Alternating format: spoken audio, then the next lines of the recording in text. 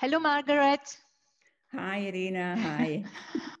Welcome to our talk, uh, which is um, part of the exhibition presentation of Unmasked, mm -hmm. Unmasked yeah. One. Mm -hmm. And mm-hmm. Unmasked One is part of a series called Unmasked, mm -hmm. where mm-hmm. um, three artists of the gallery are presenting in a new dialogue their mm-hmm. mostly current works mm-hmm. from um, from the last year, but also from before. Mm-hmm. And um, in this case, in Unmasked One, um, your works are presented together with Annette Zelle and mm-hmm. Hugo Stuba. And now we will talk about your works in the exhibition, Unmasked mm-hmm. One. Mm-hmm. What we see behind me, this is um, the work called Dance from 2004. Mm -hmm. And uh, this work is programmatic actually for mm -hmm. the for the exhibition and for the theme unmasked. That's mm -hmm. why I I put it in the that that that's part of my choice for the exhibition. Mm-hmm. And um, I would like us to talk a little bit about this work and the other works in the back uh, room of the, mm -hmm. of the gallery. And also, I would like to, to ask you, as the other artists do, three questions. Mm -hmm. And um, my first question is, where do you see the connection to the theme Unmasked in the exhibited works? Well, first of all, the one that's behind you dance um, is a very good example because there's quite obviously a mask um, in the, the, the, the left hand side of the figures, but that's the point. We don't really know if it's two figures or is it one figure? Is it a dance, a couple, a guy leaning over the shoulder of the woman and this other head is the back of a head? We don't really know that. Or is it about inside, outside, one person? The mask, we all show masks at some time or another. Um, so that's that's that that was one of the the, the main um, paintings for me that I was pleased you really showed in this exhibition because one of my major themes is duality, and so this is a very good example, I would say, of duality. Um, I'd like to say a little bit about the painting style because it was painted rather thickly. Mm -hmm. And I went through a lot of um, uh, painting processes, and one of the major one was really laying on a lot of um, paint, scraping off, changing things, laying on, scraping off. So it was often about um, uncovering, taking things away and, and seeing what's lying underneath. So the process was very important for me. And in those early days of working like that, um, I got a bit worried because it seemed as though quite often my idea changed as I was painting. And that's when I started to make a lot of small ideas separately, so individually. And then I would take one of these images and I would develop it into a painting. So not every small drawing becomes a painting, but they do belong. They're part of the process for me. Um, and we'll see that later, I think, when you, you, you show the small drawings. Yes, the small mm-hmm. drawings mm -hmm. are coming now. So um, you, you said that uh, this this uh, painting is um, putting some questions like uh, mm-hmm. it's uh, and give giving some answers so uh, what can you say about that like which questions um, would you like to mm. put with this painting I'm, not, I'm, not, really sure because i think the point is that um, i made this painting a lot of the work that i do that's another thing is intuitive I work in the, the, small drawings, I produce things. It's a kind of organic process. I don't think now I'm going to make a portrait of a figure with a mask. I don't think like that. It's ongoing, it develops. So um, it's, it's not just so clear cut to say um, what I intended there. Um, but on the other hand, I think that what I want in my work is that it's left slightly open and that other people can read into it they can say there's a mask here, but what is it? Why? You know, they can often see reflections of their own life or their own thoughts. And that's really important for me. So there's an abstraction there and leaving the work that bit open. Yeah. This, this is uh, what I also see in this in this work that um, this is like embrace and in this embrace you don't know if actually uh, this person looks like a woman but it could be just a person which is embracing another person but maybe it is not embracing another person maybe it's it's embracing another personality no mm-hmm, it's mm-hmm. um and and but that's what i see in this painting is that um, it happens in a very constructive very positive way so mm-hmm, this mm-hmm. uh, face which which is like a face like a mask but in the same time it's like a positive um, it has a positive mm-hmm. expression it is mm-hmm. mm-hmm. smiling so mm-hmm. it's happy about this dialogue yeah, I would also mention that that that um, very often um, it's clear to see in my work. Very often um, I use symbols, and the major mm-hmm. symbol that I use is the woman figure. Mm-hmm. And this mm-hmm. woman figure is not a portrait of one person. She's just really a carrier. She's just um, there. She's the, the standard um, to which I attach other thoughts and yeah. ideas. And so again, there is this the face is there, but it's kind of hidden. This could be any face, this mask could be anyone. And yeah. that's what I want. I don't want, I don't make portraits. They're not portraits of anybody. So that's yeah, yeah that's, that's, that's, what yeah. I like very much in your work. And um, mm-hmm. Uh, to the second question, I would like to move in the back. And the second question is, uh, has the last year, uh, this special year, um, changed anything in your artistic praxis and why? And mm-hmm. in that moment, we will move to the back. Yeah.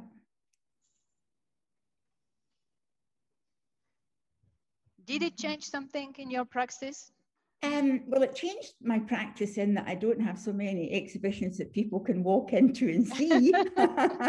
so, yeah, so that's I, I, and there is definitely a big element now of technology and and what what's happening exactly like now. But I find this really good. I find it really fantastic that this step is made that you can bring um, even more maybe than an exhibition opening by by such a presentation as now. So I think that that's absolutely fantastic. So I think that we we're kind of thinking on our feet in lots of different areas. What's possible? What can we do? What can we expand? There's new ideas coming all the time. You know, we're very, I think, resilient in that way. So yeah. there's not a lot of definite changes I can't say um, about my actual what I'm painting. I'm not going to paint uh, anything particularly to do with the, the virus or the COVID or the whatever else. It's not my thing. Um, but it's it's also um, I'm travelling backwards and forwards uh, from England um, to Berlin relatively regularly, which means two weeks quarantine in England yeah. and, and 10 days quarantine in Germany. And I really in Berlin, and I do enjoy that insofar as I don't have any appointments. I can't go out, not even over the door. So I can organize my artwork, I can Im- immerse myself in my artwork. Um, and, and I just love that. And it's much more about earlier days um, when I was younger and you were just every day, all the time in the studio. So to a certain extent, there's positives and negatives about the situation. Yeah, it's a duality again, no? It's a dual. It's always duality. yeah. So actually, this this year, uh, the last year, you used to to look back uh, into your your work of 30 years yeah, and categorize yeah. it and um, yeah put it into order um, yeah. put yeah. put everything together but also as you said you uh, you you review the artworks and uh, even you mm-hmm. think how you can reuse them again Yeah, abs- absolutely, absolutely. And this is one of the benefits of having this time, this quiet time to go through old work. Normally, there's never that chance. You're making new work, you're trying different things. So it, has been wonderful to, to review the old work and also to see from 30 years ago how raw but how strong some of the work was. And, and I really feel quite pleased about that. So I'm looking back at some of these things and thinking about the kind of themes also about tension in a painting or, um, you, you know, pushing over a figure until it's almost falling, you know, and, and yeah. giving that kind of tension, um, or pushing a figure up to the very side of, of, of, the rectangle and what's happening then. So that there was a lot of playing about with that kind of space and that kind of thing. So uh, that's been really good. And also the thought to how might I work that differently now? Because although, you know, um, I, I've stayed, I've stayed true to my figurative work. I am who I am, but I'm also 30 years older. And a lot of things have happened in between those 30 years, 20 years. So I think that it's interesting for me then to take some of this old work and reinvent it and say, how might I deal with this now? What can I do differently? What would be interesting? So no, I'm very excited about that. Mm-hmm. Yeah, it's it's very nice and and especially this this uh, theme of the tension of the symbols of of the figures the women figures we see very mm. well in in these works which we show in the unmasked one exhibition um, mm-hmm. which are behind me and we will uh, now just come closer to them mm-hmm. that's mm-hmm. what we see on the right side this is the work conserving links Mm-hmm. Um, mm-hmm. and um, and here are the works which are partly uh, the so-called monoprints, uh, mm-hmm. and we will uh, explain what does it mean for you, the mm-hmm. monoprints, and these are some drawings from you, colorful drawings, which are mm-hmm. in this in this theme, the theme mm-hmm. of the equilibrium uh, equilibrium, of, yeah. equilibrium of the figures yeah, uh, yeah. here for example or here mm. like figures which are almost falling down as you said mm. but they're mm-hmm, still in this equilibrium mm-hmm. Um, mm-hmm. so um, tell us more about about the conserving links yeah, conserving links. Um, I'm, I'm happy to talk about that one, especially because we looked before at Dance, which is much more thickly painted. Um, and these are two ways that I had of working. There was often um, the one process of laying a lot of colour, a lot of paint, then scraping it off, throwing it away, redoing, and actually leaving some marks of memory really um, mm-hmm. underneath. And, and in this way, this particular conserving links, um, I did the opposite. I built up the layers of colour, um, although I sometimes blotted the colours. And so again, there are lines left from before. So there's like another story or uh, there's, there's memory, there's the layers give, yeah, I think a depth and an interest. So they are two, the two different ways I had of working. And I'd like to bring in again the idea about the small drawings. Um, with the thicker way of working that I had, I used to do a lot of this over painting, over painting, changing, changing. And it was the early exhibitions in London where I had to produce maybe 10 paintings. And I, I knew I can't keep over painting, over painting on one painting, have 10 different ideas.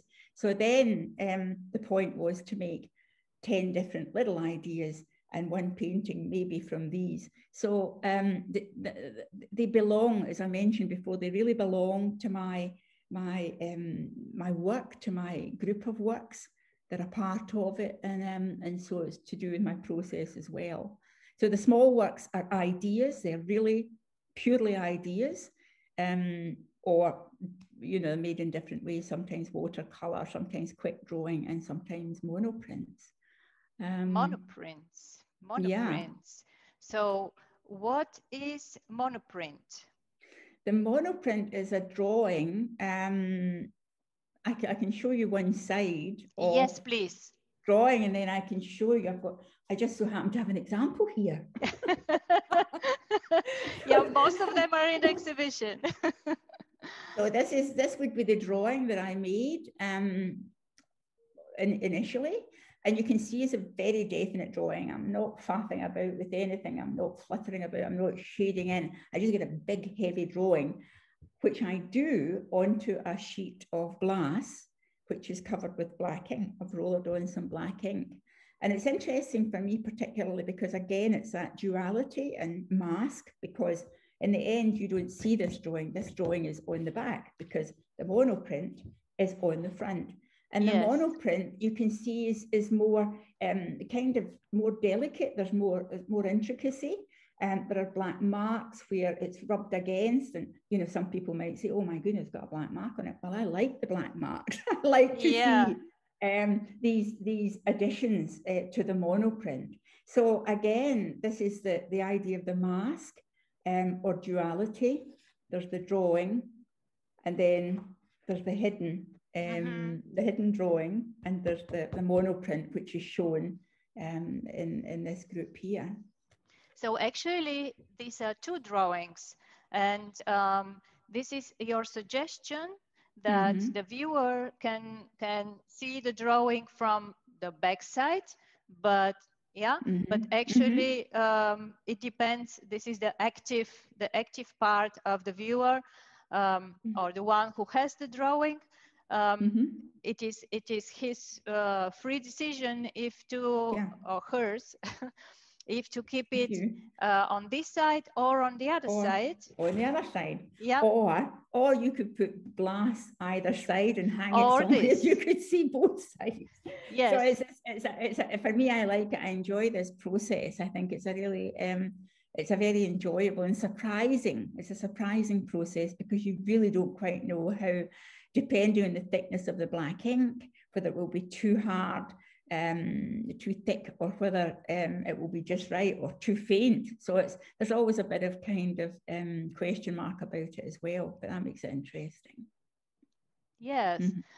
and now we are coming slowly to my third question, and mm-hmm. the third question is: What artistic themes are are you interested in at the moment and you would like to explore soon like mm-hmm. uh, um, uh, gaze to the future um, well again that's it's it's a gaze to the future but i look at the past because mm. i just mentioned this that um, i'm still the same person i still have the same sort of interests um, i have a palette of interests really I, and a, and a palette of ways of working. So within that, I can change things. And it's definitely about looking back to look forward. Oh, again, we've got duality, looking backwards, but looking forwards. Um, and so thinking to, to have another look at some of these much older drawings. Some of them were not even signed, some of them not, not dated hardly. Know, I just know from the, in fact, I found an old newspaper in one group where it was 1995 so the newspaper is a, a, sheet of newspaper. So that hasn't seen the light of day since 1995. Um, and so, yeah, that, that I think that that would be very interesting to reinvent, to think, what might I do now? And, and maybe to think about um, life in general, the, the COVID situation, how things have been, how it's impacted um, everyone's life different ways. So I think that there will be maybe some of that um, coming into it. But anyway, it's about reinvention in lots of ways. Yes, mm-hmm. and uh, thinking about reinvention, I am remembering the two exhibitions, solo exhibitions, which we did in the gallery in the last right. years, mm-hmm. and mm-hmm. Um, they've been always um, dealing with the theme like a re discovering of, um, mm. of uh, already existing paintings, which have been, mm-hmm. for example, the one at the, at the East Side Gallery, mm-hmm. your mm-hmm. famous one, um, remembering about about the, the um, celebrations of the 30 years uh, from Mauerfall, no, yeah. from the falling yeah. of the wall, where yeah. you've been invited as a Zeitzeuge, as a witness of the time, to to remember and to talk what changed and uh, what happened since then. Mm. The painting is still there, joint venture still there, mm. and we mm. had this painting as reinvented uh, version, the gallery yeah. version in the gallery yeah. in the front space. Yeah. Over two walls, so like uh, it like a painting where you can come in. it was fantastic. I loved it because I was um, when you showed this work, and it was realised not going to fit into one wall. These five yeah. huge panels almost the height of the ceiling. And I thought, oh my goodness.